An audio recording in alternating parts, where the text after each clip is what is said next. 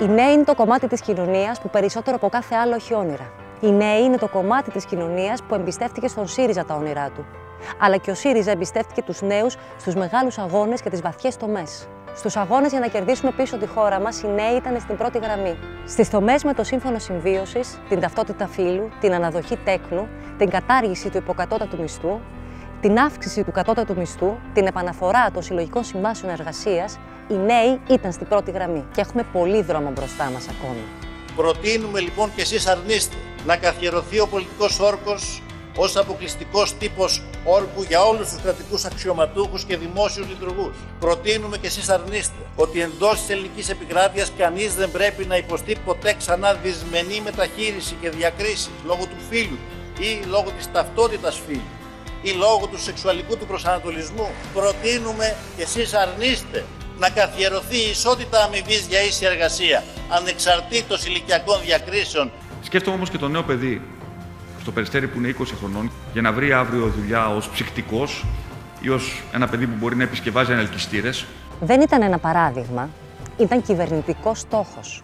Από τις 7 Ιουλίου που η κυβέρνηση Μητσοτάκη ανέβηκε στην εξουσία, ανέστηλε τη λειτουργία 37 πανεπιστημιακών τμήματων. Κατήργησε τη νομική σχολή της Πάτρας. Γιατί ξέρουν καλά ότι όταν κλείνει ένα δημόσιο πανεπιστήμιο με δωρεάν φίτηση, ανοίγει ένα ιδιωτικό κολέγιο με δίδακτρα.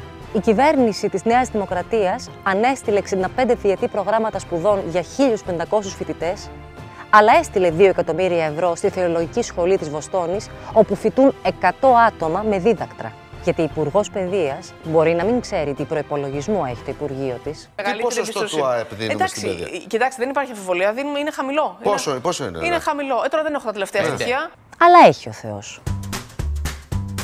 Αποκαταστήσαμε ναι, ναι. την γιορτή. Ναι. Θα γίνεται πλέον γιορτή το πρωί, ερωταστικές εκδηλώσεις όπως κρίνει το κάθε σχολείο Ναι. και εν συνεχεία κανονικά μαθήματα, κυρία Αυτιά. Κακώ το Υπουργείο Παιδείας κατάργησε όχι μόνο την αργία αλλά και τη σχολική εορτή. Η κυρία Κεραμέως ευλογεί την περικοπή της δημόσιας χρηματοδότησης των πανεπιστημίων κατά 20%. Η κυρία Κεραμέως επαναφέρει τη βάση του 10 στις πανελλατικές και ταυτόχρονα εξισώνει τα πτυχία των κολεγίων με αυτά των ΑΕΗ. Γράφεις 9 στις πανελλαδικές. Δεν είσαι καλός για το δημόσιο πανεπιστήμιο, κόβεσαι, πηγαίνεις σε ιδιωτικό κολέγιο, πληρώνεις, παίρνεις το πτυχίο σου και μετά είσαι καλός για το δημόσιο. Συγχαρητήρια. Διορίζεσαι. Όμορφα νεοδημοκρατικά.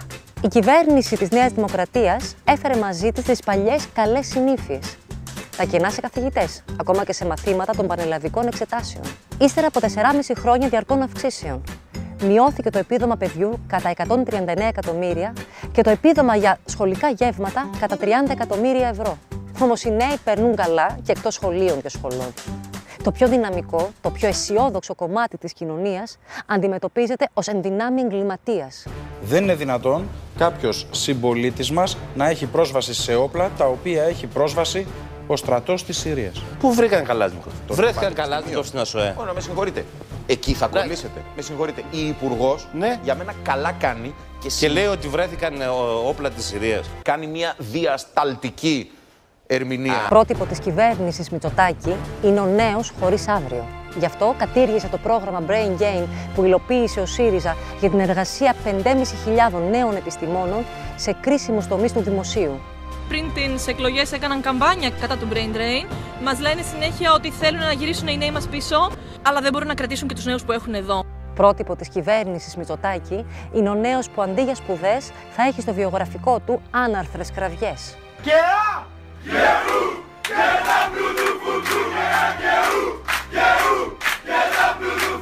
α, και ου, και αριστεία παντού.